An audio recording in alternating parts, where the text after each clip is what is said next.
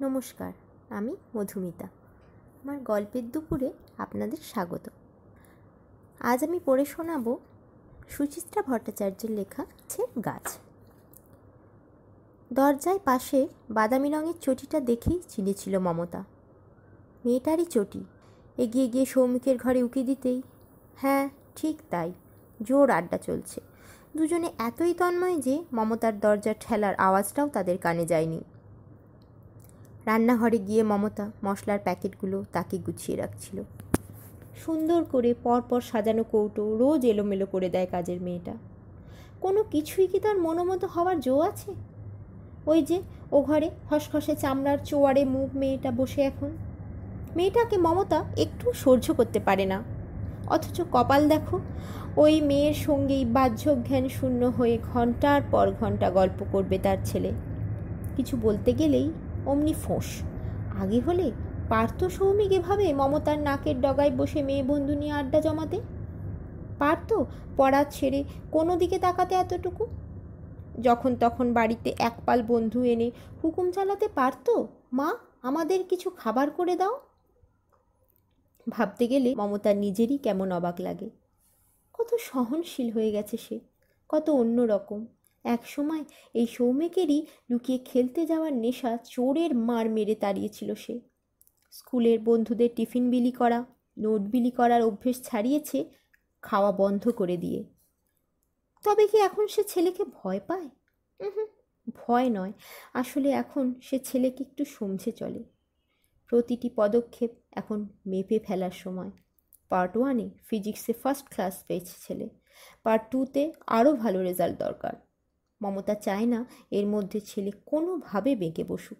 এমনিতেই যা গোয়ার, ক্লাস সিক্সের ওঠার উপর ঝপ করে একদিন বলে বসল, তুমি না একটা কি? রোজ রোজ আমাকে স্কুল থেকে আনতে যাও কেন বলো তো? মমতা, থ, তুই বাসে করে একা একা ফিরতে পারবি? না পারার কি আছে? সবাই ফেরে। কটা গার্জেন তোমার মতো রোজ গিয়ে স্কুলের সামনে দাঁড়িয়ে থাকে? তুমিও যাবে না। দিতেও না, নিতেও না। মমতা তবু জমি ছাড়েনি। নিয়ম মতোই জোর করে গিয়ে দাঁড়িয়ে থেকেছে স্কুলের সামনে। হঠাৎই একদিন ছুটির পর ছেলে স্কুল থেকে বেরোলো না। দাঁড়িয়ে দাঁড়িয়ে মমতার পা ঘামে ভিজে গেল। সব ছেলেমেয়ে বেরিয়ে গেছে। স্কুল ক্রমে ফাঁকা। সৌমিকের পাত্তা নেই। খোঁজ খোঁজ খোঁজ। টিচাররা খুঁজছে, দারোয়ানরা খুঁজছে। মাথায় হাত দিয়ে বসে পড়েছেন প্রিন্সিপাল। সৌমিক কোথাও নেই। শেষে যখন হতাশ হয়ে থানায় যাওয়ার কথা ভাবা হচ্ছে, জমাদার বাথরুম থেকে উদ্ধার করল সৌমিককে। ছেলের চোখ তেজে গনগন, চোয়াল শক্ত, মায়ের সঙ্গে ফিরবে না। সেবারই প্রথম হার মানতে হলো মমতাকে। দ্বিতীয় হার? ছেলের হায়ার সেকেন্ডারি পরীক্ষার ঠিক মুখে। ইলেভেন, টুয়েলভ দু বছর টানা পড়াশোনা করে পরীক্ষার ঠিক দু মাস আগে দুম করে একেবারে পড়া ছেড়ে দিল সৌমিক। সারা দিন সারা সন্ধে টো টো করে ঘুরে বেড়াচ্ছে। দুপুরে, রাত্রে খাওয়া ছাড়া বাড়ির সঙ্গে আর কোনো সম্পর্কই নেই তার। মমতা একদিন দেখল, দুদিন দেখল, সাত দিন দেখল, তারপর ধরলো ছেলেকে। বই খাতা সব শিখিয়ে তুলে দিলি কেন? আর পড়তে ভালো লাগছে না। সামনেই পরীক্ষা, তুই এ সময়? আমার দম বন্ধ হয়ে আসছে। অনেক দিন বাইরের পৃথিবীটাকে দেখিনি। আমি এখন আর পড়ব না। তাহলে ভালো রেজাল্ট করবে কি করে? সে দেখা যাবে। তোর কি বড় কিছু হতে ইচ্ছে করে না? ভালো রেজাল্ট করে সুন্দর কেরিয়ার তৈরি করবি, বড় একটা বাড়ি, গাড়ি, ইচ্ছে মতন টাকা খরচ করার ক্ষমতা, ছোট্ট এইটুকু পুরনো ভাড়া বাড়ি, তোর ভালো লাগে রানা? মমতার রানা তবুও নির্বিকার তুমি তো শুধু ভালো রেজাল্ট পেলেই খুশি। ঠিক আছে, পাবে সেটা। ভালো নয় আরও ভালো। তার জন্য দরকার আরও পড়াশোনা। কোনো সাবজেক্টে অসুবিধা হলে বলো টিচার ঠিক করে দিচ্ছি। দরকার নেই। মমতার তখন চিন্তায় চিন্তায় পাগল হওয়ার দশা। ছেলের জেদ ভাঙতে নরম করে লোভ দেখানোরও চেষ্টা করে যাচ্ছে। বাইরে বেরিয়ে, তুমি করছোটাই বা কি শুনি? সিনেমা, থিয়েটার দেখছ? বেশ তো। তোমার বাবাকে বলছি তোমাকে একটা ভিসিপি কিনে দিতে। রিল্যাক্স করতে হলে বাড়িতে বসে করো। বলতে বলতে গলা আরও নরম করেছে। মনে আছে না সেবার তুই একবার বলতেই তোকে স্টিরিও কিনে দিয়েছিলাম। সঙ্গে সঙ্গে হাসির চাবুক আছড়ে পড়েছে মমতার মুখে। সরি, মা, আমি এখন কিছুতেই পড়ব না, আমি বেরোবই। মমতাও রাগে দিশেহারা অত বড় ছেলেটাকে উন্মত্তের মতো টানতে টানতে ঢুকিয়ে দিয়েছে ঘরে। বাইরে থেকে তালা বন্ধ করে দিয়ে আহত সাপিনীর মতো ফুসছে। শুনতে পাচ্ছে পাশের ঘরে ফাঁদে পড়া এক ক্ষুদ্ধ জন্তুর তর্জন গর্জন। পড়তে বসবি আজ থেকে? না। তবে ঘরেই বন্ধ থাক। পরদিনই টেবিলে চিরকুট রেখে উধাও সৌমিক, খোঁজ করো না, ঠিক সময়েই ফিরবো। খোঁজ করলে ফিরবই না। যন্ত্রণায়, অভিমানে ভিতরে ভিতরে গলে যাচ্ছিল মমতা। তবু কিছুতেই রণবীরকেই সৌমিকের খোঁজ করতে দেয়নি। যেখানে গেছে, যাক, ওর জন্ম থেকে শুরু করে প্রতিটি মুহূর্ত, প্রতিটি রক্তবিন্দু আমি ওর জন্য খরচ করেছি। সাধ্যের বাইরে গিয়ে মানুষ করতে চেয়েছি। তারপরও যদি এই ব্যবহার করে, সে ছেলে আমাদের দরকার নেই। সৌমিক অবশ্য ফিরে এসেছিল ঠিক দশ দিনের মাথায়। রুক্ষ চেহারা, রোদে ঝলসানো পোড়া মুখ, এসেই আবার ডুবে গেল পড়ায়।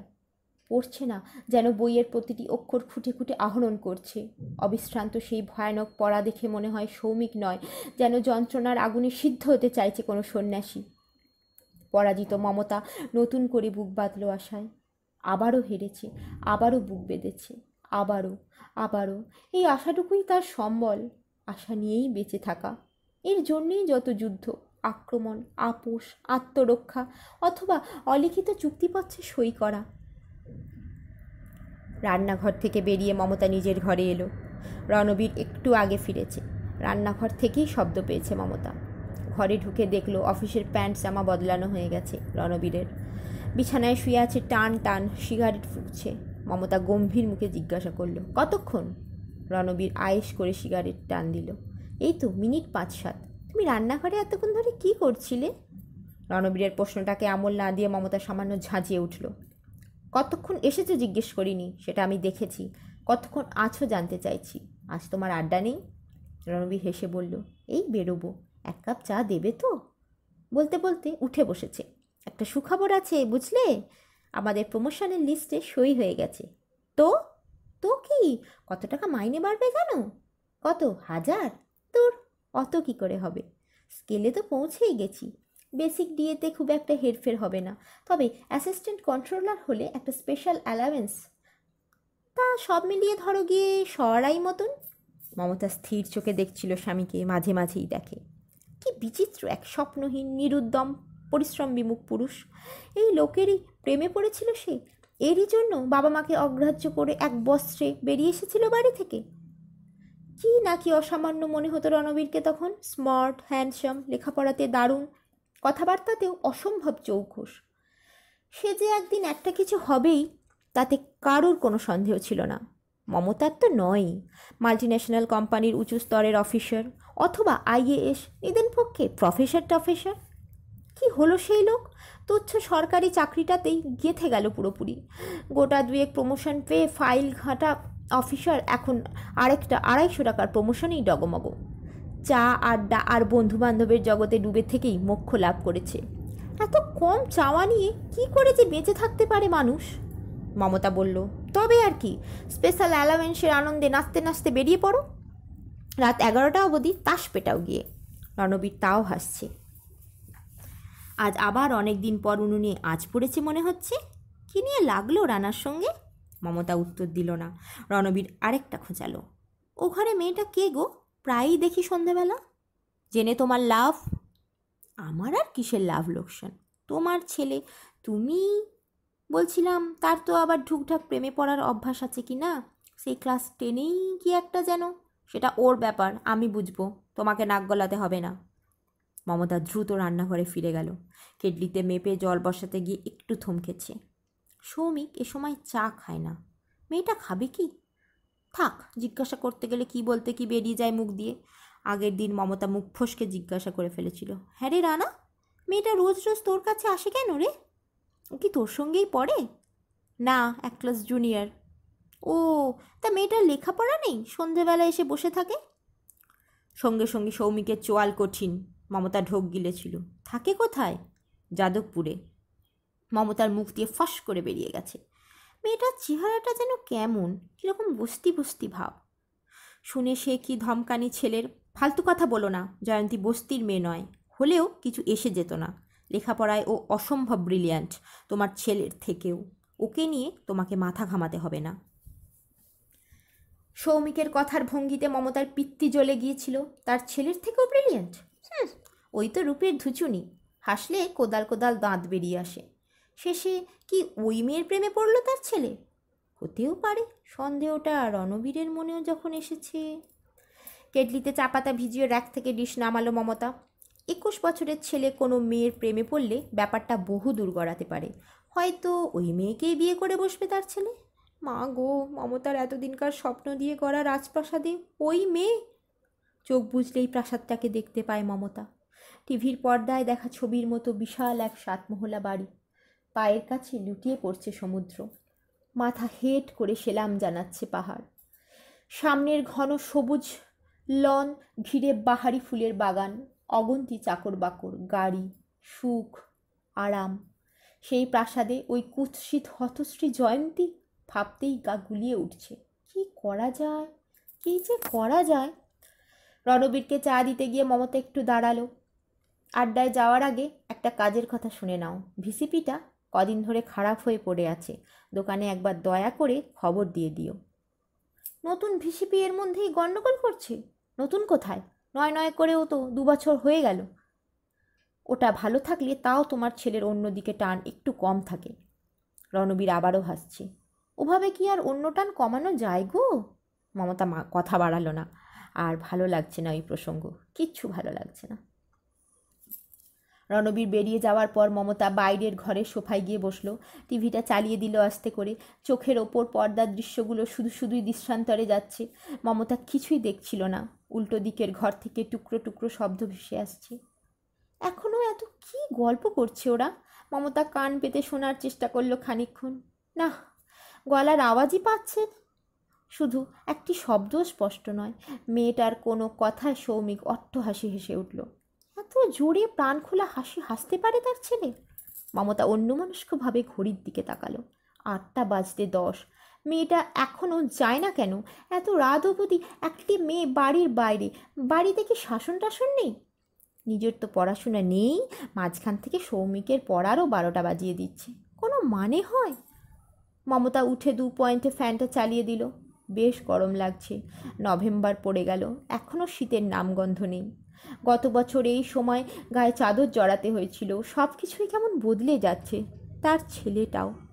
এই তো, সেদিনও দলা করে মেখে না দিলে ভাত খেতে পারতো না। এই তো, সেদিনও তার বুকের মধ্যে মুখ গুজে শুয়ে থাকতো সারা রাত। সেই ছেলে কবে এত বড় হয়ে গেল? ঘোড়ায় চড়ে নয়, সময় যেন জেট প্লেনের পেটের মধ্যে সেধিয়ে ছুটছে আজকাল। এই সেদিনের লজেন্স মুখ ছেলেটার কবে থেকে যে এমন মুখ ভর্তি দাড়ি গোফ কবে থেকে যে মমতার ডানার বাইরে? ক্লাস টেনের সেই ঘটনার পর থেকে কি? ভাবতে না চেয়েও বারবার সৌমিকের প্রসঙ্গেই ঘুরে ফিরে মনে চলে আসছিল মমতার। ছেলের স্কুলে যাওয়া বন্ধ হওয়ার পর থেকে অন্য একটা নেশা পেয়ে বসেছিল মমতাকে। রোজ দুপুরে ছেলের টেবিল ঘাটার নেশা। নেশাও বটে, নজরদারিও বটে। দুপুর ভোর আতি পাতি করে ছেলের বইপত্র ঘাটতো ড্রয়ার টেনে দেখে নিত ছেলের পেন, পেন্সিল, রাবার ঠিকঠাক আছে কি না পেন্সিলের শীষ ছোলা আছে কি নেই? ডট পেনের রিফিল আর কতদিন চলবে? অথবা কীভাবে ছেলে ইংরেজি লিখছে? অঙ্ক ভুল করছে কি না ইতিহাস ভূগোল কতদূর পড়া হলো? ছেলের বই খাতা টেবিল নয়, যেন ছেলেকেই ছুঁয়ে ছুঁয়ে দেখে বারবার। যেন অনুভব করা জঠরে ছেলের নড়াচড়া করা স্পর্শ সুখ। সেই স্পর্শ সুখে ব্যাঘাত ঘটিয়ে হঠাৎই একদিন চিঠিটা চোখে পড়ে গেছিল মমতার। চিঠি নয়, বুঝি এক বিষাক্ত সাপ। গোলাপি কাগজের ছদ্মবেশী নীল খামের ভিতর প্রেমপত্র হয়ে খাপটি মেরে বসে আছে। চিঠির শুরুতেই বানান ভুল। প্রিয়তমাসুর দন্তস্বয়ের জায়গায় মূর্ধন্যস্ব। বাক্য গঠনও দুর্বল। মমতার প্রথমে ভুলগুলোই নজরে এসেছিল। ছেলে কি তার বাংলায় কাঁচা হয়ে গেল? তাও ভাগ্যিস ইংরেজি নয়। বার কয়েক আদ্যন্ত পড়ার পর প্রকৃত হুশ এলো। সৌমিকের চিঠি, তারই ক্লাসের মেয়ে দেবযানীকে লেখা। চাঁদ, তারা, ফুল মেশানো রোম্যান্টিক ভাষায়। চিঠির ভাষাই বলে দেয়, এটাই প্রথম প্রেমপত্র নয়, এক গভীর গাঢ় সম্পর্ক গড়ে উঠেছে দুজনের মধ্যে। রণবীর অবশ্য ব্যাপারটা পুরোপুরি জানে না, মমতাই বলেনি। কেন বলবে? ছেলেকে নিয়ে স্বপ্ন তো তার একার এখানে রণবীরের কোনো ভূমিকা নেই। ছেলের স্কুলের ভর্তির ফর্মের জন্য রাত তিনটে থেকে লাইন দেওয়া, ছেলের ঠোঁটে প্রথম অক্ষর ফোটানো, কাগজে প্রথম কালির আঁচড় টানা শেখানো। ছেলে ছাড়া ওটা পৃথিবীটাকে ভুলে থাকা। সবই তো মমতার একারই।